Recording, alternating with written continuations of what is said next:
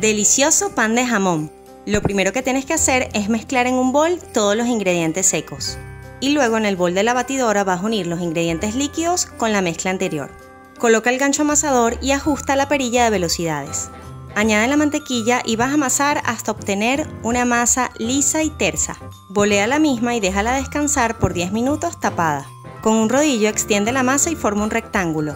En la parte superior vas a colocar una línea de aceitunas y la vas a cubrir con la masa.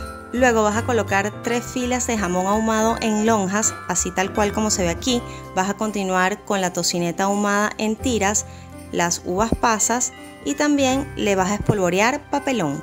Para el decorado voy a realizar una malla con un cortador de pizza, voy a extenderla para que se vean los huequitos y vas a enrollar tipo brazo gitano ejerciendo un poco de presión. No, no, no, no, no, miren qué belleza de pan de jamón. Ahora lo van a colocar en una bandeja y con una brocheta lo van a pinchar. Esto beneficia el horneado, sobre todo la parte interna. Lo tapan, fermentan por una hora, luego lo barnizan con huevo y lo llevas directo al horno hasta que esté dorado y toda tu casa huela a Navidad. Al salir del horno, barnízalo con mantequilla. Y ahora llegó el momento más delicioso, probarlo. Mmm, espectacular.